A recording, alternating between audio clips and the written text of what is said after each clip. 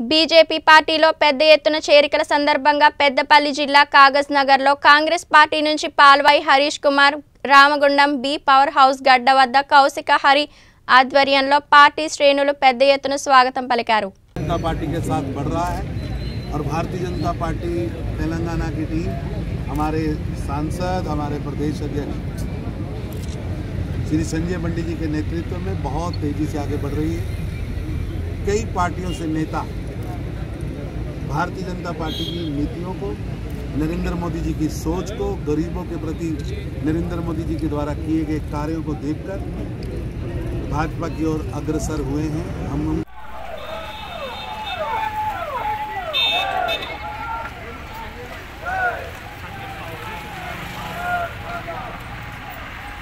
प्रदेश अध्यक्ष श्री संजय मंडी जी के नेतृत्व में बहुत तेज़ी से आगे बढ़ रही है।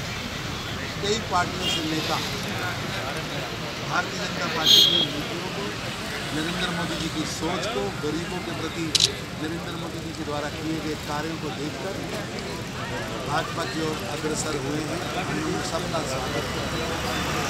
और अभी ही मैं जो यहाँ से थोड़ी दूर हरीश जी जो थे कागज़ उनको भाजपा ज्वाइन कराने के लिए हम सब लोग जा रहे हैं।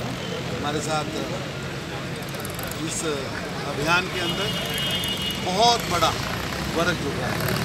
विवेक जी, संजय बंदी जी, हमारे डिस्ट्रिक्ट प्रेसिडेंट सब लोग लगे लेकिन मैं आपके माध्यम से की सरकार जिस सरकार ने इस समय अपराधियों को शरण दे रही है तेलंगाना की जनता को अराजकता के हवाले कर रहे हैं। केसीआर के शासन में टीएसआर टीआरएस के रूल में अपराधी खुले घूम रहे हैं।